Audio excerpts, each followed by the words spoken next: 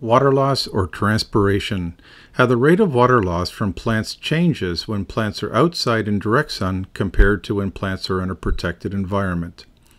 In the previous video, we identified that leaves in direct sun can be warmer than the air temperature, and leaves under a plastic roof can be cooler than those in direct sunlight. When leaves outside are exposed to the warming effect of direct sunlight, the leaves will start to transpire or lose water. The rate that plants lose water is affected by the combination of four factors. Number one, the amount of direct sunlight, since it warms up the leaf faster than the air. If it is a cloudy day, then the leaf temperature will be similar to the air temperature, so the plants will not lose a lot of water. But if it is sunny, the leaf temperature will go up, causing an increase in the transpiration rate. Number two, when the air temperature starts to exceed 20 C, the plant will start to lose more water to cool itself. Number three, the amount of wind, since a higher wind speed will draw more dry air over the leaf surfaces, helping to draw water out of the leaves. And number four, the relative humidity, since it is easier for the leaves to lose water if the air surrounding the leaf has a low relative humidity like in a desert. When plants are grown in a protected environment, the amount of water that the plants lose will be significantly less than if the plants were exposed to the natural outdoors. This is due to the fact that the greenhouse or tunnel covering will cause the air temperature to increase, prevent the direct heating of the leaves, meaning that the leaf temperature will be similar to the air temperature, will block the wind, and cause an increase in the humidity levels inside. This means that it is impossible for plants to lose normal amounts of water when they are covered by plastic or net compared to when they are exposed to the natural outdoors. Plants must lose water during photosynthesis since losing water causes a chain of events each of which is critical to the growth and development of the roots, stems, leaves, flowers, and fruit. When the sun shines on the plant to drive photosynthesis, the sunlight increases the leaf temperature, causing the plants to lose water. When the leaves lose water, the roots absorb water from the soil and simultaneously absorb nutrients from the soil into the plant. When the water moves from the roots up the stem to the leaves and the fruit, the high rate of water flow causes the movement of nutrients from the roots to the flowers and fruit.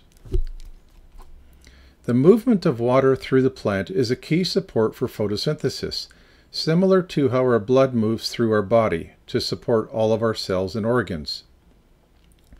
When plants are under a greenhouse roof, the plants are receiving light to support photosynthesis but the rate of water movement through the plant has been significantly reduced compared to when plants are outside. The sunlight coming through the greenhouse covering helps drive photosynthesis, but the low movement of water through the plant in the greenhouse makes it more difficult for the plants to absorb the nutrients through the roots and move them through the plants to the leaves, flowers, and fruit, leading to nutritional deficiencies. Unfortunately, there is no easy way to measure the actual water loss or transpiration rate of a plant, and so consequently most people never even think about managing it. Instead, they will focus on managing what they can easily measure, like air temperature and relative humidity. This focus on managing only humidity levels instead of optimizing the actual rate of water loss of the plants is why most growers struggle to achieve great results in a conventional greenhouse or net house.